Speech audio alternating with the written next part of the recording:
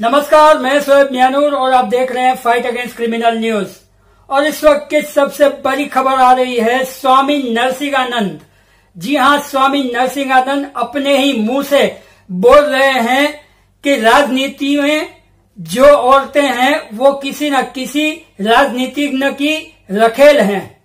आगे उन्होंने कहा, समाजवादी पार्टी में एक नेता की एक रखेल होती है।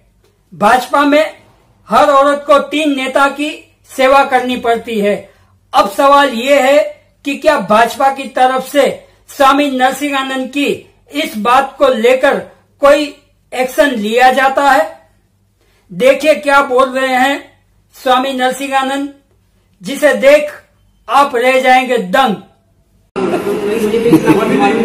किसी एक नेता के रखे हुए जैसे कोई औरत दिखाई देगी। महाराज हमारी सुन लो पहले दो बात। हम ज्ञान दे रहे हैं बहुत अमूल्य ज्ञान तो दुनिया में कहीं नहीं तो जितनी वो औरतें दिखाई दे कर थी ना वो किसी एक नेता की रखे हुआ करती किसी ना किसी एक नेता की रखे ज़रूर हुआ करती थी।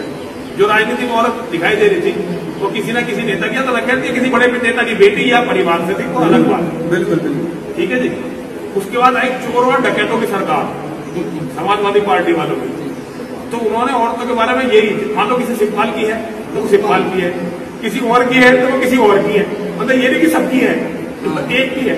चाहे एक के पास कितनी हो, है ना जी? और ठेके का रेट बहुत, क्योंकि डकैत थे तो ठेकों का रेट हो गया तो डेढ़ परसेंट। सरकारी ठेकों का रेट हो गया डेढ़ परसेंट। फिर मायावती बहन जी की सरकार आई।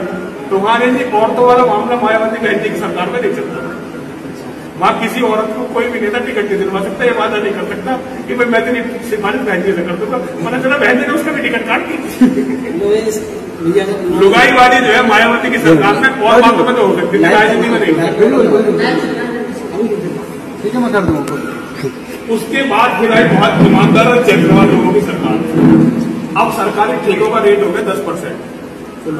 खुला रेट और जितनी भी बीजेपी में महिलाएँ दिखाई दे रही है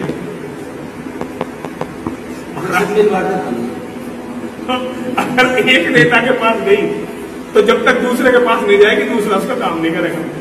तीसरे के पास, उसे तीसरे के पास जाकर फिर मतलब ये ये है अब ईमानदार और चैतमान लोग। ये है राज, ये है राजनीति।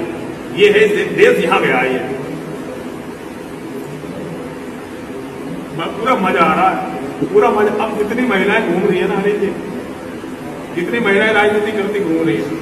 पूरा मज़ा ही आ रहा मैं कह तो कुछ नहीं सकता मात्र शक्ति है। मात्र शक्ति को प्रणाम करता हूँ। और क्योंकि हम मतलब पितृ शक्ति है पितृ शक्ति को प्रणाम करता हूँ, उसके तो सबके बाप वही है। सरकार चला रहे सबके बाप है। भैया पितृ शक्ति को प्रणाम करता हूँ, मात्र शक्ति को प्रणाम करता हूँ। और जो इस देश के नाम हो रहा है ना, भैया, भारत माता, तुम्हें प्रणाम है। भैया, जगत तेरे। हमारे और भी समाचार देखने के लिए हमारे चैनल को सब्सक्राइब करें और देखते रहिए सच, निष्पक्ष, निर्भीक खबरों के साथ। फाइट अगेंस्ट क्रिमिनल न्यूज़ तब तक के लिए जय हिंद जय महाराष्ट्र।